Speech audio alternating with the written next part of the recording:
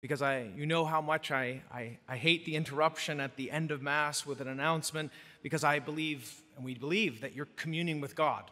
And I want to reverence that and always make sure that that's your focus. Two announcements right now. One, we are called by Christ to love our neighbor today. And that means uh, uh, like loving them by helping them also those people who need like very worldly things who need clean water who need the gospel. And so my encouragement is we'll have the taco sale uh, for the honduras mission after mass. Please go buy a taco as well as uh, again to support at our second collection that that ministry that it goes out to all the nations particularly honduras but goes out to bring the gospel there. So again you can support it by our second collection or a taco. Uh, in case you don't like tacos, that's why we have the second collection. I don't understand if you don't like tacos, but anyway. Uh, but no, please go support them. The second announcement is less fun.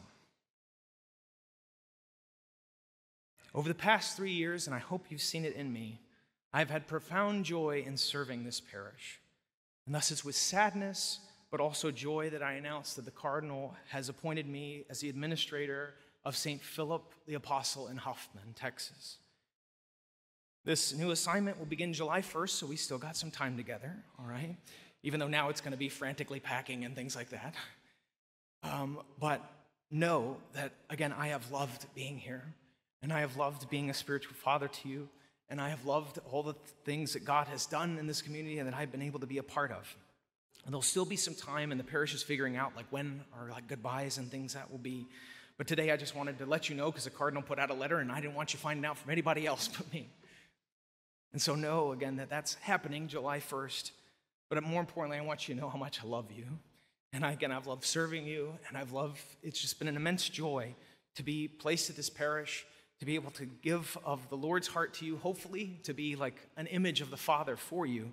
Um, and that's, again, that should be our focus. And that's where, like, we need to put a pin in that for a second and now focus on the gospel. Because the reality is, and also too, why I say this now is because now, rather than it being at the end of Mass and it being shocking us out of our state of holy communion with God, now we can bring all that. Whether it be the heartache, whether it be the joys of like what God has done, now we can unite it to the sacrifice of Christ. Unite it there. We're now with Christ, that, that again beautiful sacrifice that you make, that we make, uh, in going out into the vineyard, like, and allowing me, praying for me, please, to like go out and bear much fruit, fruit that will last. We can bring that to God and ask Him to bless it and ask Him to do all He wants. So, turning to the Father and really trying to focus on Him and the rest of the gospel and in the homily, let us pray. In the name of the Father and of the Son and of the Holy Spirit. Amen. Our focus today, obviously, in the readings is love. Nowadays, though, of course, that word is like very misunderstood. So today we're going to try to analyze it so that we can understand how like love is really supposed to be fully implemented. To do so, I want us to look at love in the framework of like in, in, within the framework of three things: that God is love, that He loved us first, and because of that, like ours is to love. So let's first look at God being love. What is love? What does it mean? Well, the word in English actually classically and biblically has four different words that get transferred, eh, translated into love. There's storge, which is like empathy. There's eros, which is like romantic love. There's philia, which is like friendship love. And then there's agape, total self gift. Guess which one describes God? Total self gift. It is in God's nature to be total self gift. The Father is eternally, totally giving of Himself to the Son. The Son is eternally receiving the love of the Father and totally giving Himself back to the Father in such a perfect reciprocal love that it is an entirely other person of the Trinity, the Holy Spirit. Now, today Christ says, As the Father is in me, or sorry, as the Father loves me, so I love you. That's something for us to ponder. This, the immensity of love that the Son loves the Father and the Father loves the Son, that's how God loves us. And this is why he says, This is then my commandment to love one another as I have loved you. Because if we have been loved in such a way, then it should, it should evoke a response in us, in every sphere, in our marriages, in the world, everything where we are, to love like him who has first loved us. And the way he tells us we do that well is by what? Keeping his commandments. The way we're going to love God and love one another is by keeping his commandments. That's why he says, If you keep my commandments, you will remain in my love. And this is an important thing because this piece of scripture comes right out of after last week's gospel and it's here today. And he's saying, like, if you want to be fruitful, if you want to remain close to the vine, if you want to remain on me and do all that I want you to do, then you've got to, again, remain in my love. Follow my ways, all the commandments that I've given you. Now, that can get a little bit scary because we heard, as Deacon Crawl preached to us like last week, that again, God also said, like, if we don't follow his ways, like he'll prune us and throw us into the fire, which of course none of us want. And neither does God. Because again, God is love. And if we're a little bit scared, if we ever start to fall into like that servile fear of like just of hell or things like that, which is a real possibility if we don't follow Christ's ways, we also have to remember what Christ says today that it's not you who chose me, it's I who chose you. He knew our sin before there was time. He knew all of it and the ugliness of it, and he said, I choose you. I will choose you to go and bear fruit, fruit that will last.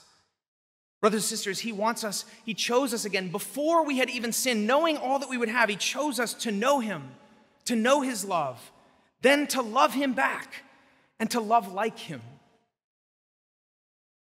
Again, this is not merely, Christ did not merely come to offer Himself on the cross, like to save us from sin, death, and hell. No, he came to give his total self gift on the cross for love of the Father and for you and me. Why? So that we could participate in his love, the very love of the Trinity. Or as he puts it today, which maybe is a little bit easier for us to understand, he says, I give myself like totally to you. Why? So that my joy may be in you and your and that joy be complete. Only with this in mind can we pr- begin to approach that third point that ours is to love like God. If we to understand like how we're supposed to love like God and the joy that's supposed to be complete, we need to stop and just look at joy real quick. What is joy? Because our world misunderstands that word too.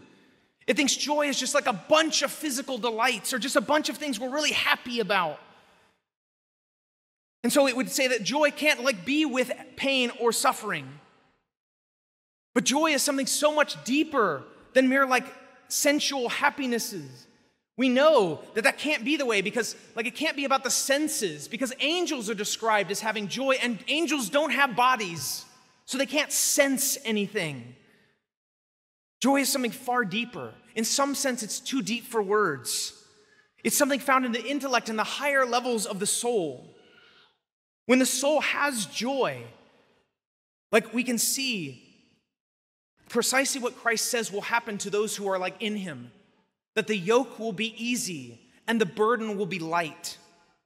When the soul has joy, sufferings, while they're felt, they become minuscule in relationship to that joy. This is how we get saints who, while they're in the midst of being martyred, like St. Lawrence, who's being like grilled alive on a fire, he says, Hey, turn me over on this side, I'm done. He can make a joke because this suffering of this life is nothing in comparison to the joy that he has in Christ Jesus. When the soul has true supernatural joy, again, the cross becomes sweet and desirable. This sort of joy defies our worldly notions, defies like the worldly ways, and it can only be found again in the life of the Trinity, which is offered to us in the sacraments and a fully lived out Catholic faith. Divine life and the fulfillment of joy are tied to the sacraments unless we think they aren't necessarily. Note where our gospels are coming from right now.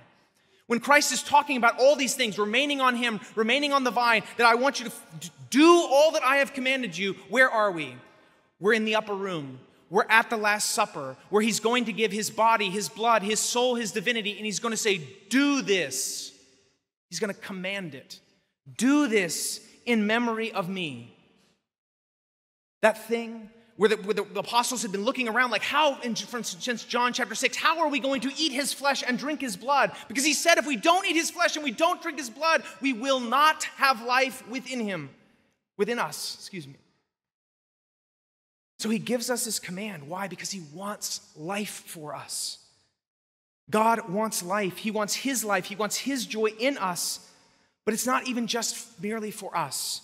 it's so that we can go share it and share the love he has with others so that we can be being transformed by him, being given life in him in the sacraments, because that's what's happening. Now he can live through, within, in us. Now, so that he can give of himself in time to the world and through us. He gives us the sacraments so that we can have his strength. Because on our own, we're nothing. But in our weakness, with the sacraments, he can be strong. We can be strong, and we can do anything that God is calling us to, to go out to all the nations and share the gospel. And this gets us to that last point. Because God is love, because he has loved us first, called us into his love. As we recognize that, as we meditate upon that, as we receive that love, ours is to go love others ours will even naturally be to go love others. And how are we going to do this if we're asking? By preaching, yes, and by living an unadulterated gospel, the gospel of Jesus Christ. The reason why the church gives us this first reading is to recognize like what again we're called to do. While God, by Christ's like sacrifices, open up the world, open up to the whole world the ability to be redeemed and saved. That's what's being said by God shows no partiality. If a person is striving to live a righteous life and they do not know Jesus Christ, like they can be saved, but the reality is they're supposed to be saved through the church. The reality is that again, this, this, this first reading is supposed to point us that there are still er-, errors out there. We are still called to go out and to correct them and to help people know. But right now, our, and especially this is important right now because the world has been deeply swayed by the devil. It has con- convinced people that love is love, and you do you, and all religions are the same, and all can save. That's a lie from the pits of hell. We are called out of slavery Christ is saying we were slaves, slaves to sin. Original sin really has consequences. Our sins really have consequences and can separate us from God's love. But He wants to call us out of that and into His marvelous life and into friendship with Him, and actually even beyond that, into being intimate lovers. And that's what's being pointed at. God doesn't use the word love with all those other three meanings. He only uses the word agape here, total self gift, which is between real lovers. We are called to share that good news with the world. We are called to tell people the truth that only Christ saves.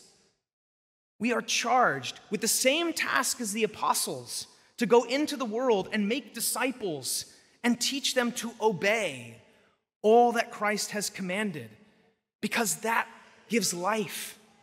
Ours is to go and teach them that truths held by the one holy Catholic and Apostolic Church are what will give life and will give joy because they are Christ's teachings and his commands. Again, the devil has convinced people that this isn't true, that freedom, joy, life are found in liberty and doing whatever like you feel like doing. Where Christians know that freedom, joy, and life are found in truth in Christ and in his church. Our first reading spoke of Cornelius. He seemed like a really good guy. Certainly, he had good things going on. He feared God, meaning that we've talked about that before. That's not a servile fear of merely going to hell, but he had a fear of the Lord, which was like a respect for the one God. And he was living a righteous life, striving to do it. But there's also a giant problem with Cornelius. And we saw it. Because when he countered Peter, what did he do? He tried to worship Peter, something that cannot be given to mere man. Only the one true God may be worshiped. And so, Peter, though seeing that there was goodness in him, seeing that the Holy Spirit was really working with him, what? Calls forth, like calls him into right religion, calls him into right relationship with God. And at that point, again, seeing what God has already begun to done, because done in Cornelius' life, because God is showing no partiality. He's calling everyone now, not just the chosen people, everyone now to his life. He says, What? Administer baptism. Let's give him the sacrament that will actually give him life, because that is what God has ordained. Brothers and sisters, all this is to say, as we reflect today, that if we recognize that God is love, that He is total self gift, that He has loved us first, that He has again called us to be to have His divine life, to be empowered by His divine life, so that He can, living in us, work through, with, and in us to share the gospel. In fact, it's not a task, it's not a burden. If we're real lovers, in fact, our hearts will be just automatically desire to reciprocate that love. And to what?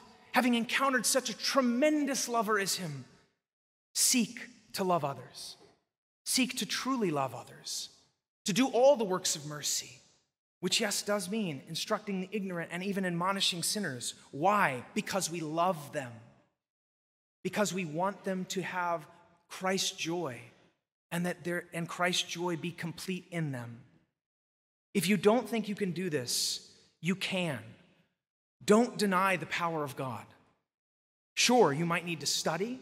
Sure, you might need to pray more. Sure, you might need to engage in the devotional life and even the sacramental life like more often and more piously. But as scripture says, we can do all things through Christ who strengthens us. Moreover, the God who has begun the good work in you desires to bring it to completion as we hear today, to bring you into the fullness of his life, the fullness of his joy. He wants that for you, but he does want it for others as well. He wants to bring them to life and his joy and his peace. If this is still a little daunting and scary, welcome to where we are, in a sense, in the Easter season. Precisely now, as was recounted in the Collect, we are living in the mystery of the church. We are living in what the apostles felt. Like, I don't know if I can go out there. I don't know if I can bring the gospel to all the world. And we're living awaiting Pentecost. And today, pray. Pray for an outpouring of the Holy Spirit. Pray that as you commune with the Almighty, all powerful, all loving God, that He may pour grace into your heart so that you may be the disciple He's calling you to be. Yes, a disciple that keeps all his commandments and remains in his love, but also a disciple who shares that God is love, that he loved us first even when we were sinners, and then he calls us to truly love him and to love others by sharing with them the truth and the way of life that sets us free, so that we may have the joy and the eternal life that only He can offer. Let us pray and let us ask the Lord to give us this as we commune with our Almighty God today.